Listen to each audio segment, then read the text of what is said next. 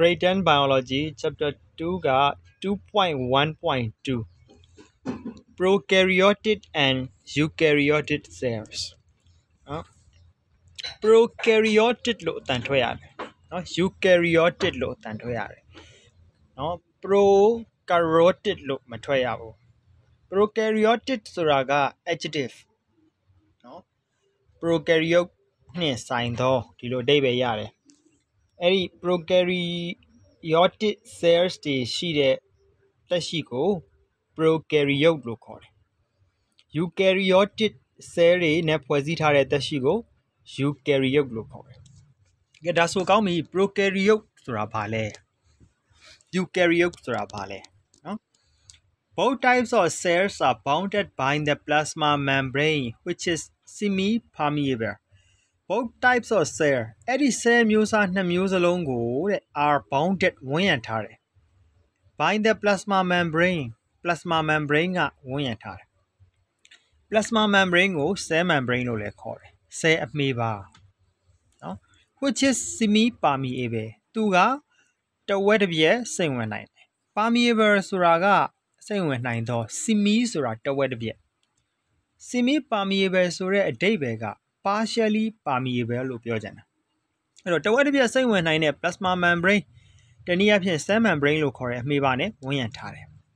ဒါကတော့တူတယ်ဒီ cell နှစ်မျိုးစလုံးမှာ plasma membrane နဲ့ဝန်းရံထားတယ် Inside the cell is a semi-fluid jelly-like substance called cytoplasm in which cellular organelles are suspended.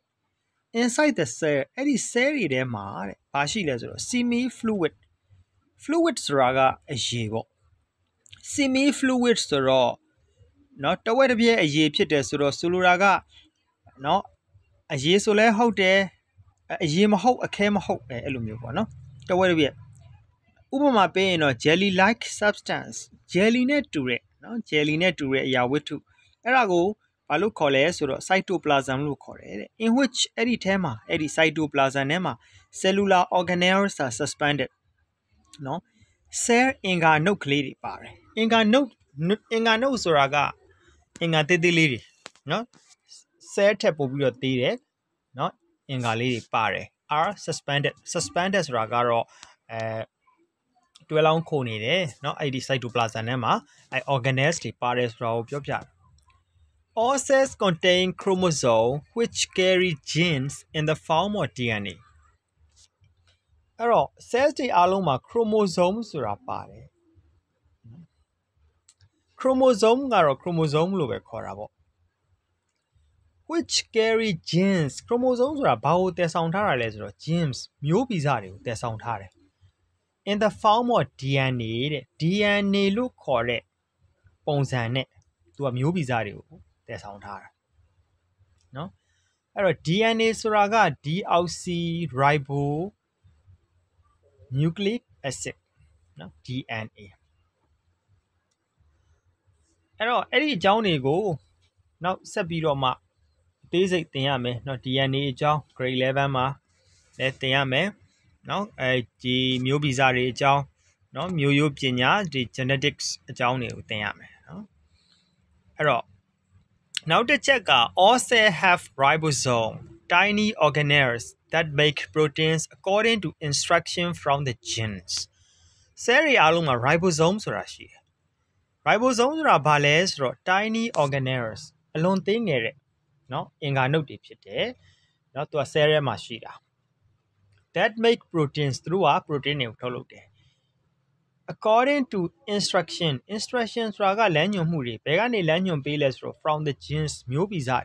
ဒီမျိုးဗီဇတွေကနေပြီးတော့လမ်းညွှန်ချက်တွေအရာ protein တွေကိုထုတ်လုပ်တဲ့အလွန်သေးငယ်တဲ့အင်္ဂါနုတ်တွေဖြစ်တဲ့ ribosomes တွေလည်းပါဝင်တယ်တဲ့နော် အဲ့တော့ the cells of bacteria and archaea are prokaryotic အဲ့တော့ bacteria နဲ့ archaea ရဲ့ cell တွေဒီ prokaryotic cell တွေဖြစ်တယ်အဲ့တော့ figure 2.2နဲ့2.3မှာဖော်ပြထားတယ်လို့ပြောတယ်အဲ့တော့ဒီမှာ figure 2.2ကိုကြည့်မယ်ဆိုရင်အဲအဲ့တော့ဒီကောင်က figure 2.1ကိုယင်ကြအောင်2.1က prokaryotic cell a raw shaped bacterium bacteria ဆိုတာကဒီ bac များကိန်း plural number BACTERIA bacteria ဒါဆို bacteria တွေအများကြီးရှိတယ် bacteria တစ်ကောင်တည်းမဟုတ်ဘူးเนาะအဲ့တော့ bacteria တွေဟာခန္ဓာကိုယ်မှာเนาะလူတွေမှာဆိုလို့ရှိရင်လူတွေတတ္တဝါတွေเนาะမှာဆိုရင်သူကယောဂဖြစ်စေတဲ့အကောင် bacteria ဆိုတာလူတိုင်းကြားဘူးတယ် bacteria เนาะ bacteria ဆိုတာ microscope နဲ့ကြည့်မှမြင်ရတယ်အလွန်သေးငယ်တယ်တက်ရှိတွေဖြစ်တယ်ဆဲတစ်လုံးနဲ့နဲ့ဖွဲ့စည်းထားတယ်အဲဒါသိရနော်အဲ့တော့ bacteria ရဲ့ပုံစံမှာကိုရေကသူကဒီလိုမျိုး rod shape ဆိုတာဒုတ်ချောင်းပုံသဏ္ဍာန် bacteria မျိုးလည်းရှိတယ်သို့မဟုတ်လို့ရှင်လဲ spherical ပေါ့နော်ဆက်ဝိုင်းဆက်လုံးပုံသဏ္ဍာန်လုံးလုံးလေးတွေပေါ့အဲဒီလို bacteria မျိုးလည်းရှိတယ်ဒီကောင်ကတော့ rod shape ကိုပြထားတာဒါဆိုလို့ရှိရင် set လုံးနဲ့နဲ့ပါတဲ့တက်ရှိဒါဒီ prokaryotic cell ကိုပေါ်ပြထားတာဖြစ်တယ် အောက်ကဒီ cell ကတော့ eukaryotic cell eukaryotic cell figure 2.2သူက plant cell အပင် cell ကိုဖော်ပြထားတာအပင် cell နဲ့တတဝါ cell နဲ့ကနည်းနည်းလေးတော့ကွာခြားမှုလေးတွေရှိတယ်နောက်တစ်ခုကနောက်ထပ်ပုံတစ်ပုံကိုကြည့်မယ်ဆိုဒီပုံက eukaryotic cell ပဲနော်တက်တက်တဝါမှာရှိတဲ့ animal cell ကိုဖော်ပြထားတာဖြစ်တယ်။နော်အဲ့တော့ bacteria တို့ archaea တို့မှာရှိတဲ့ cell များက prokaryotic cell များဖြစ်ပါတယ်။နော် true or false အနေနဲ့မေးမယ်ဆိုလို့ရှိရင်ဒါ the cells of bacteria and archaea are prokaryotic ဆိုတော့မှ true เนาะအဲ့နေရာမှာ eukaryotic ဆိုရင်ဒါမှားတယ် false เนาะအဲ့တော့ prokaryotic cell evolve before eukaryotic cells and they lack a true nucleus prokaryotic cell တွေရတယ် evolve evolve ဆိုတာကเนาะအဲ evolution ဆိုတဲ့စကားလုံးပေါ့နော်စင်ကဲဖြစ်စဉ်ပြောင်းလဲဖြစ်စဉ်เนาะ ဖြစ်ပေါ်လာတယ် before eukaryotic cell ဒီ eukaryotic cell တွေမတိုင်ခင်နေကသူတို့ကဖြစ်ပေါ်နေတာဖြစ်တယ် and they lack a two nucleus သူတို့မှာ nucleus အစစ်မပါဘူးเนาะ nucleus အစစ်မပါဘူးဆိုလိုတာက cell တစ်လုံးကိုလေ့လာမယ်ဆိုလို့ရှိရင်အဲမျက်လုံးထဲမှာမြင်အောင်ကြည့်လိုက်ဥပမာပေးပြီးတော့မြင်အောင်ပြောမယ်ဆိုကြက်ဥတစ်လုံးကြက်ဥရဲ့အထက်ကအနှစ်သည်ဒါ nucleus เนาะအဝါအနှစ်ကလေးသည် nucleus ဘေးနားမှာရှိတဲ့ဒီအဖြူရောင် အကာသည်ဒါသည် cytoplasm နော်အဲ့တော့ဒါ nucleus နော် nucleic acid သူတို့မှာမရှိဘူးတဲ့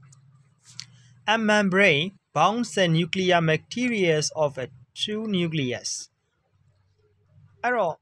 အမေးပါပေါ့ membrane ဆိုတာ bound ဆိုတာဝန်းရံထားတယ်တဲ့ the nuclear bacteria of a true nucleus ဆိုတာ nucleic acid ရဲ့နော် nuclear material ဆိုတာ nucleus ထဲမှာရှိတဲ့ပစ္စည်းတွေကို ဘယ်သူကဝန်းရံပေးပြီးတော့ကာကွယ်ထားလဲဆိုလို့ရှိရင်ဒီ nuclear membrane ကနေကာကွယ်ပေးထားတာဖြစ်တယ်တဲ့เนาะအဲ့တော့ဒီမှာဆိုလို့ရှိရင်ဒီပုံလေးမှာကြည့်မယ်ဆိုလို့ရှိရင်သူကเนาะအဲ level တွေเนาะအပေါ်ကနေစကြည့်ရအောင်အစီအစီလေးတွေအမှအမဲလေးတွေဒါဒီ ribosomes ပေါ့ခုနအပေါ်မှာပြောခဲ့တဲ့ ribosome ဆိုတာကဒီမျိုးဗီဇကနေပြီးတော့လမ်းညွှန်ချက်နဲ့သူက protein တွေကိုထုတ်လုပ်တာเนาะနောက်ကနောက် peline ဆိုတာရှိတယ်ဒီเนาะ အထိုးထောင်ဟောပေါ့နော်အချောင်းလေးတွေပေါ့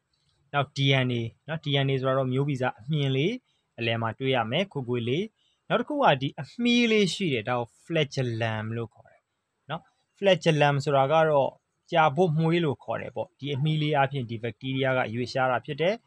နောက်ပြီးတော့အပေါ်ကအနီရောင်အခွန်ကို capsule လို့ပြောထားတယ် capsule အဲ့ဒီ capsule ရဲ့အောက်တက်လွှာမှာဆဲနိုင်ရန် cell wall ဆိုတာရှိတယ်နော်ဆဲနိုင်ရန်ရှိတယ် နောက်အဲ့ဒီဆဲနိုင်ရန်ရဲ့နောက်ထပ်အတွင်းတတိယအလွှာကိုတော့ plasma membrane လို့ခေါ်တယ်ပေါ့နော်ဒါကတော့ prokaryotic cell rod shape bacterium ရဲ့ပုံဖြစ်တယ်နော်ဆိုတော့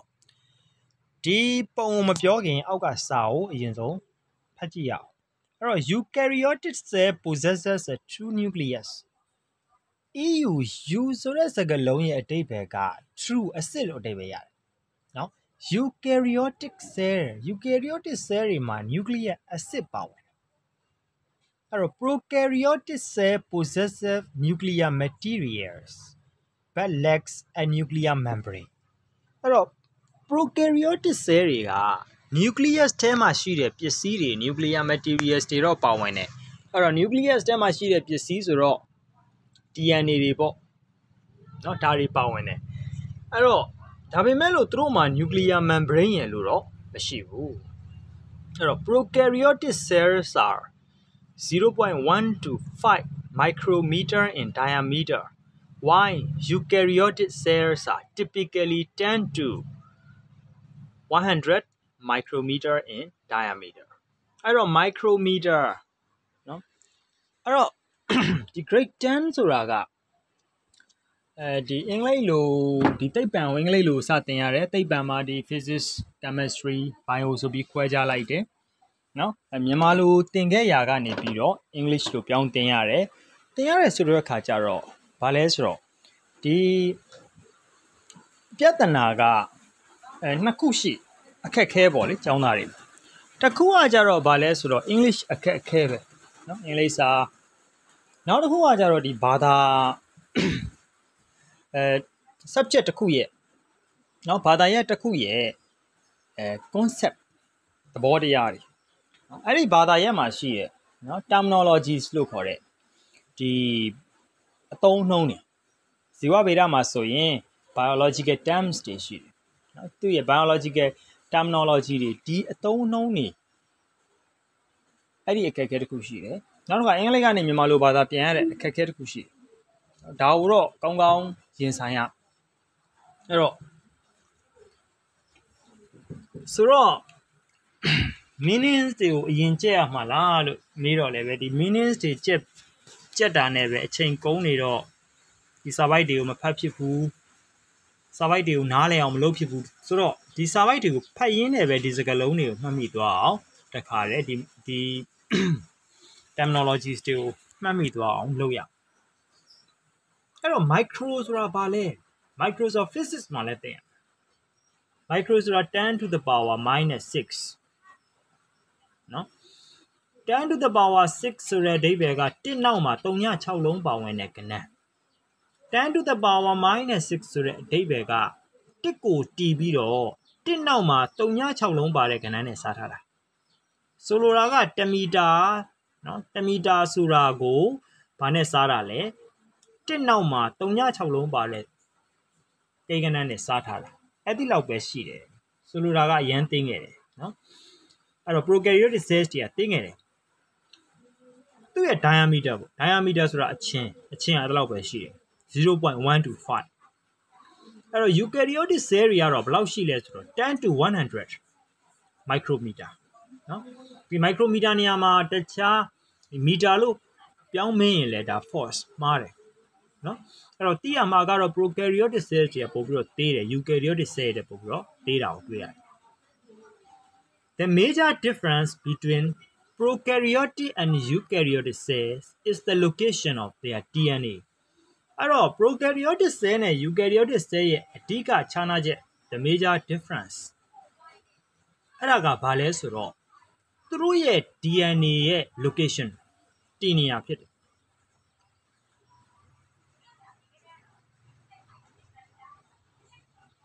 အဲ့တော့ဒီ cell တစ်လုံးရဲ့ nucleus ထဲမှာဘာပါလဲဆိုတော့ chromosome ဆိုတာလေးတွေပါတယ်နော် chromosome အဲ့ဒီ chromosome ပေါ်မှာမှ chromosome ကိုဘာနဲ့ဖွဲ့စည်းထားလဲဆိုတော့ဒီ DNA နဲ့ဖွဲ့စည်းထားတယ်ဒီလိုပြောလို့ရှုပ်သွားမယ်နော်ရှုပ်သွားလဲတခြားတော့ဖြည်းဖြည်းချင်းတော့နားနားလည်အောင်တော့စူးစမ်းရမှာပေါ့နော်ဆရာတို့လည်းတန်းနိုင်သလောက်ပုံနဲ့တကွ နော်တခြားရှင်းပြထားတယ်အဲ့တော့ in a eukaryotic cell most of DNA is in the nucleus which is bounded by a double membrane အဲ့တော့ eukaryotic cell မှာ nucleus အစစ်ရှိသော cell တွင် most of DNA DNA တော်တော်များများက in is in the nucleus nucleus ထဲမှာရှိတာဖြစ်တယ်အဲ့ဒီ nucleus ကို which ဆိုတာကအဲ့ဒီ nucleus ကိုပြန်ရည်ညွှန်းတာ which is bounded သူ့ကိုဝင်ရထားတယ် by နဲ့ double membrane အလွှာနှစ်ထပ်ရှိတဲ့ membrane နဲ့ဝင်ရထားတယ်အဲ nucleus ကိုဖုံးအုပ်ထားတဲ့အမေးပါကိုတော့ nuclear membrane လို့ခေါ်တာပေါ့နော်ဒါနဲ့ဖုံးအုပ်ထားတယ်တဲ့အဲ့တော့ prokaryotic cell ကိုပြောရ prokaryotic cell ဆိုတာ nucleus အစစ်မရှိတဲ့ cell တနည်းအားဖြင့်ပြောရင် nuclear membrane လို့ခေါ်တဲ့ nucleus ပုံအမေးပါနဲ့ဖုံးအုပ်မထားတဲ့ cell အဲ့တော့ in a prokaryotic cell the DNA is concentrated in a region that is not membrane bound called the nuclei which is part of cytoplasm ဒီတော့ prokaryotic cell မှာတဲ့ DNA က concentrated ဆိုတာစုစည်းနေတာ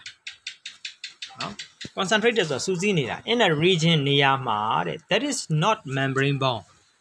ဆိုလိုတာကသူ့ကိုအမေးပါနဲ့ဖုံးအောင်မထားဘူးတဲ့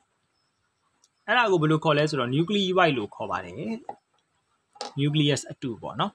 nucleus နဲ့ဆင်တူတယ် nucleoid လို့ခေါ်တယ် which is part of cytoplasm သူက cytoplasm ရဲ့အစိတ်ပိုင်းဖြစ်တယ်ဆိုတော့ဆိုလိုတာက cytoplasm ထဲမှာပဲရှိနေတယ်